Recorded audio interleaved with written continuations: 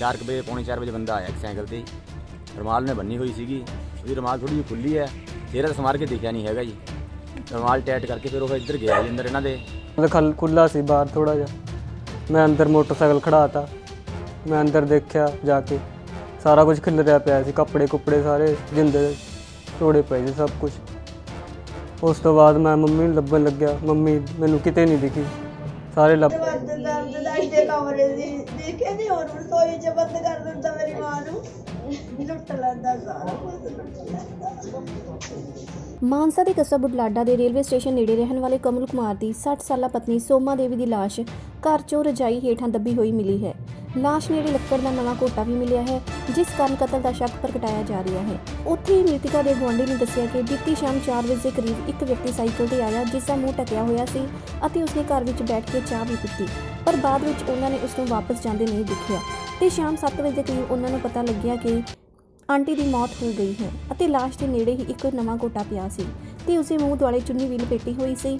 ਇਸ ਦੇ ਨਾਲ ਹੀ ਪੁਲਿਸ ਨੇ ਲਾਸ਼ ਨੂੰ ਕਬਜ਼ੇ ਵਿੱਚ ਲੈ ਕੇ ਜਾਂਚ ਸ਼ੁਰੂ ਕਰ ਦਿੱਤੀ ਹੈ।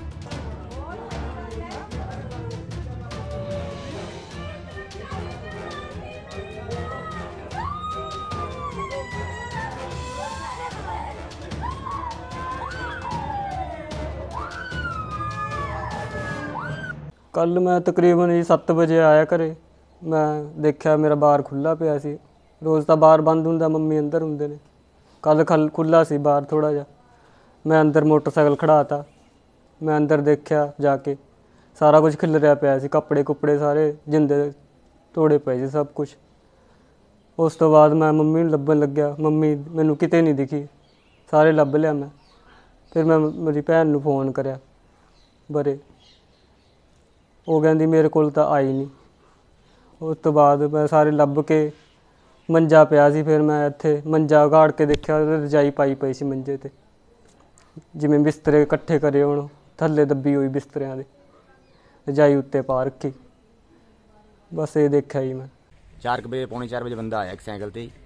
ਰਮਾਲ ਨੇ ਬੰਨੀ ਹੋਈ ਸੀਗੀ। ਉਹਦੀ ਰਮਾਲ ਥੋੜੀ ਜਿਹੀ ਖੁੱਲੀ ਹੈ। ਚਿਹਰਾ ਤਾਂ ਸਮਾਰ ਕੇ ਦਿਖਿਆ ਨਹੀਂ ਹੈਗਾ ਜੀ। ਰਮਾਲ ਟੈਟ ਕਰਕੇ ਫਿਰ ਉਹ ਇੱਧਰ ਗਿਆ ਜੀ ਅੰਦਰ ਇਹਨਾਂ ਦੇ। ਬੈਠ ਕੇ ਚਾਹ ਪਾਣੀ ਪੀਤਾ ਉਹਨੇ, ਆਂਟੀ ਨੇ ਚਾਹ ਬਣਾ ਕੇ ਦਿੱਤੀ ਆ। ਉਦੋਂ ਬਾਅਦ ਅਸੀਂ ਵਾਪਸ ਜਾਂਦਾ ਨਹੀਂ ਦੇਖਿਆ ਹੈਗਾ ਉਹ ਜੀ। ਵੀ ਵਾਪਸ ਕਿਸ ਟਾਈਮ ਗਿਆ, ਕਿਸ ਟਾਈਮ ਨਾ ਗਿਆ।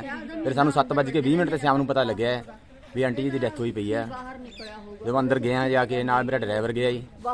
ਜਾ ਕੇ ਦੇਖਿਆ, ਮੈਂ ਸਰਾਣੇ ਘੋਟਣਾ ਪਿਆ ਸੀਗਾ। ਮੂੰਹ ਤੇ ਚੁੰਨੀ ਧਰ ਰੱਖੀ ਸੀਗੀ ਤੇ ਘੋਟਣ ਨਾਲ ਹੀ ਬਾਹਰ ਕਰ ਰੱਖਿਆ ਸੀਗਾ, ਜਮਾ ਨਵਾਂ ਘੋਟਣਾ ਸੀਗਾ ਯਾਨ ਲੱਗ। ਸੋਮਾ ਦੇਵੀ ਨਾਂ ਦੀ ਇੱਕ ਔਰਤ ਸੀ ਜੋ ਆਪਣੇ ਘਰ 'ਚ ਹਾਜ਼ਰ ਸੀ। ਉਹਦੇ ਬੱਚੇ ਬਾਹਰ ਆਪਣੀਆਂ ਦੁਕਾਨਾਂ ਵਗੈਰਾ ਕਰਦੇ ਨੇ। ਸ਼ਾਮ ਨੂੰ ਉਹਦੇ ਬੱਚੇ ਆਏ ਤਾਂ ਉਹਨਾਂ ਦੇ ਆਉਣ ਤੇ ਪਤਾ ਲੱਗਿਆ ਕਿ ਉਹਨਾਂ ਦੀ ਮਾਤਾ ਨੂੰ ਕਿਸੇ ਵਿਅਕਤੀ ਨੇ ਸਿਰ 'ਚ ਸੱਟਾ ਮਾਰ ਕੇ ਮਾਰ ਦਿੱਤਾ। ਉਹਦੀ ਡੈੱਡ ਬੋਡੀ ਆਪਣੇ ਬੈੱਡ ਤੇ ਰਜਾਈ ਦੇ ਵਿੱਚ ਪਈ ਸੀ। ਦੋਸ਼ੀ ਦੀ ਅਸੀਂ ਤਲਾਸ਼ ਕਰ ਰਹੇ ਹਾਂ। ਅਜੇ ਕੋਈ ਜਾਣਕਾਰੀ ਮਿਲੀ ਨਹੀਂ।